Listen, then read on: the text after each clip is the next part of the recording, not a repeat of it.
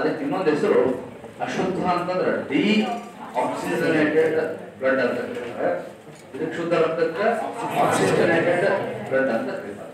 ಹಿಂಗಾಗಿ ಹೇಳುವುದು ಅಳಿಯ ಅಂತ ಮೂಲಗಂಡ ಅಳಿಯ ಅಂತ ಅಲ್ಲ ಹೋದ ಆಕ್ಸಿಜನೇಟೆಡ್ ಅಂತ ಕೇಳ್ಬೋದು ಅಥವಾ ಶುದ್ಧ ರಕ್ತ ಅಂತ ಕೇಳ್ಬೋದು. ಅಶುದ್ಧ ಅಂತ ಕೇಳ್ಬೋದು ಅಥವಾ ಡಿ ಆಕ್ಸಿಜನೇಟೆಡ್ ಬ್ಲಡ್ ಅಂತ ಕೇಳ್ಬೋದು. ದೇಹದಲ್ಲಿ ಹಾಗಾದ್ರೆ ನಿಮ್ಮ ಹೃದಯ, ದೇಹದ ಹೃದಯದಲ್ಲಿ ರಕ್ತ ಪರಿಚಲನೆ ಯಾವ ರೀತಿ ಆಗುತ್ತೆ?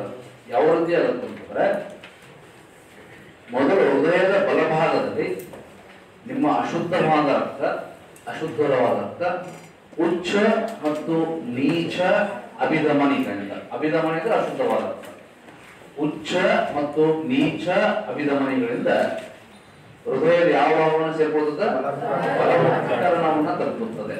ಬಲವೃತ್ಕರಣವನ್ನ ತಲುಪುತ್ತದೆ. ಬಲವೃತ್ಕರಣದಿಂದ ಸ್ತ್ರೀ ಕವಾಟದ ಮೂಲಕ ಬಲವೃತ್ಕರ್ಷಿ ತಲುಪುತ್ತದೆ. ಬಲವೃತ್ಕರ್ಷಿ ತಲುಪುತ್ತದೆ. ಬಲವೃತ್ಕರ್ಷದಿಂದ ಅಶುದ್ಧವಾದ ರಕ್ತ ಪುಸ್ತಕ ಮೂಲಕ ಶ್ವಾಸ ಶ್ವಾಸಕೋಶಗಳಿಗೆ ಹೋಗುತ್ತದೆ. ಹಿಂಗ ಹೃದಯದಿಂದ ಅಶುದ್ಧವಾದ ರಕ್ತ ಶ್ವಾಸಕೋಶ ತಲುಪುತ್ತ ಪಪ್ಪುಸಕ ರಕ್ತ ಪ್ರಚರಣೆ ಅಂತ ಕರಿತೀವಿ. ಅದ ಸ್ಕಿಮ್ಯಾಟಿಕ್ ನೋಡಿ ಇದು ಬಲಭಾಗ, ಇದು ಎಡಭಾಗ. ಹೌದಾ? ಹೃದಯದ ಬಲಭಾಗದಲ್ಲಿ ಆಮ್ಲಜನಕ ರಹಿತ ರಕ್ತ ಅಥವಾ ಅಶುದ್ಧವಾದ ರಕ್ತ ಉಚ್ಚ ಮತ್ತು ನೀಚ ಅಭಿಧಮನಿ ಮೂಲಕ ಬಲವೃತ್ಕರಣವನ್ನ ತಲುಪುತ್ತದೆ. ಬಲವೃತ್ಕರಣದಿಂದ ಸ್ತ್ರೀ ಕವಾಟ ದಳದ ಮೂಲಕ ಸ್ತ್ರೀ ಕವಾಟ ದಳದ ಮೂಲಕ ಬಲ ಉತ್ಕರ್ಷ ತಲುಪುತ್ತದೆ. ಎಲ್ಲಿ ತಲುಪುತ್ತದೆ ಬಲ ಬಲವತ್ಕರ್ಷದಿಂದ ಪಪ್ಪುಸಕ ಅಪಧಮನಿ ಮೂಲಕ ಶ್ವಾಸಕೋಶ ತಲುಪುತ್ತದೆ ಹಿಂಗ ಹೃದಯದಿಂದ ಅಶುದ್ಧವಾದ ರಕ್ತ ಶ್ವಾಸಕೋಶಕ್ಕೆ ತಲುಪುವುದನ್ನ? ರಕ್ತ ಪರಿಚಲನೆ ಪಪ್ಪುಸಕ ರಕ್ತ ಪರಿಚಲನೆ ಎನ್ನುವುದು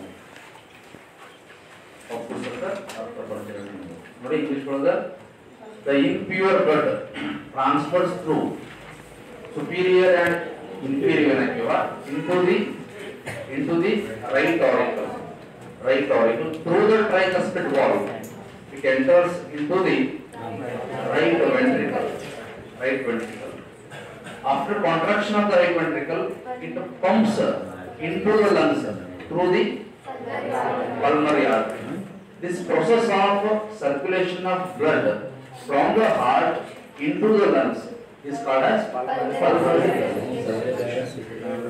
Pulmonary circulation ಕರೀತೀವಿ. ಇದರ ಕೌಂಟರ್ ಪಾರ್ಟ್ ಇದರ ಪಾರ್ಟ್ ಅಂದ್ರೆ ಹೃದಯದ ಬಲಭಾಗದಲ್ಲಿ ಅಶುದ್ಧವಾದ ರಕ್ತ ಹೃದಯದ ಎಡಭಾಗದಲ್ಲಿ ಶುದ್ಧವಾದ. ಹೃದಯದ ಎಡಭಾಗದಲ್ಲಿ ನೋಡಿ ಇನ್ನು ಹೃದಯದಲ್ಲಿ ಇಲ್ಲಿಂದ ಶ್ವಾಸಕೋಶ ಹೋಯ್ತು ಶ್ವಾಸಕೋಶದಿಂದ ಕಿಡ್ನಿ ಹೋಯಿತು ಕಿಡ್ನಿ ಒಳಗೆ ಅಶುದ್ಧವಾದ ರಕ್ತ ಏನಾಯಿತು ಶುದ್ಧ ಆಯ್ತು ಆ ಶುದ್ಧವಾದ ರಕ್ತ ಹೃದಯದ ಎಡಭಾಗದಲ್ಲಿ ಪಪ್ಪುಸಕ ಅಭಿಧಮನಿ ಮೂಲಕ. ಎದರ ಮೂಲಕ?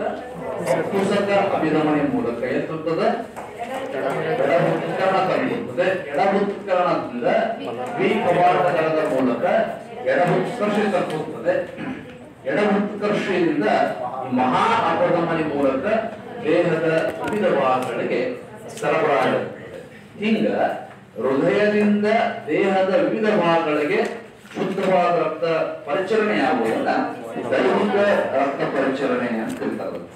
ಹೌದಾ? ಇನ್ನು ಸ್ಕಿಮ್ಯಾಟಿಕ್ ರಿಪ್ರೆಸೆಂಟೇಷನ್ ನೋಡ್ರಿ.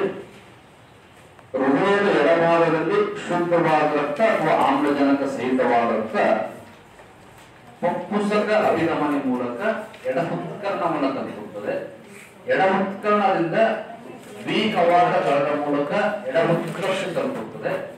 ಎಡಹುತ್ಕರ್ಷದಿಂದ ಮಹಾ ಅಪಧಮನಿ ಮೂಲಕ ದೇಹದ ವಿವಿಧ ಭಾಗಗಳಿಗೆ ರಕ್ತ ಪರಿಚಲನೆ ಆಗುತ್ತದೆ ಈ ರೀತಿಯಾಗಿ ಶುದ್ಧವಾದ ರಕ್ತ ಹೃದಯದಿಂದ ದೇಹದ ವಿವಿಧ ಭಾಗಗಳಿಗೆ ಪರಿಚಲನೆಯಾಗುವುದನ್ನ ದೈಹಿಕ ರಕ್ತ ಪರಿಚಲನೆ.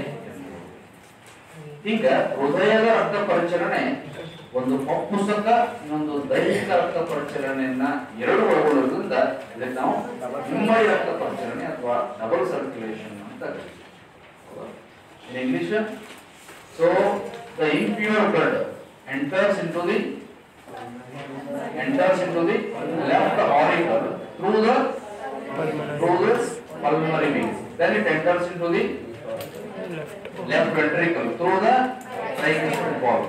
After contraction of left ventricle, it pumps into the it comes into the different parts of the body through the aorta. This process of circulation of blood from heart to the different parts of the body is called as body circulation. So it includes the two circulation.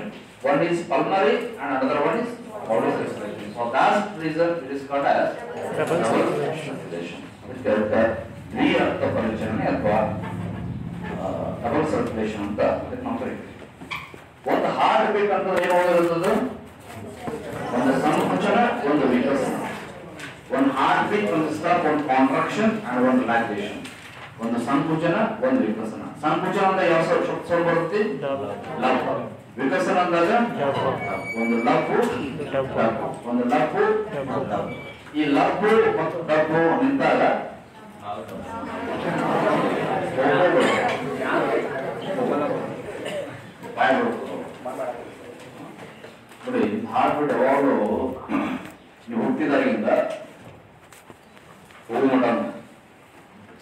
Continuous ಆಗಿ ಪಡ್ಕೊಳ್ಳೋದಪ್ಪ ಅಂದ್ರೆ ಒಂದೇ ಒಂದು ಅಂಗ ಹೃದಯ ಹೌದು.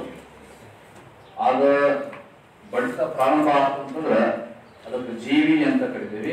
ಅದು ತನ್ನ ಕೆಲಸವನ್ನ ನಿಲ್ಲಿಸ್ತಂತಂದ್ರೆ ನಿರ್ಜೀವಿ ಅಂತ ಕರಿತೀವಿ ನಾವು.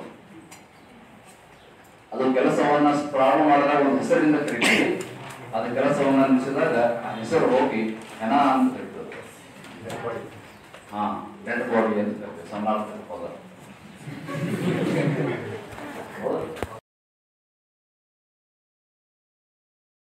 Welcome to the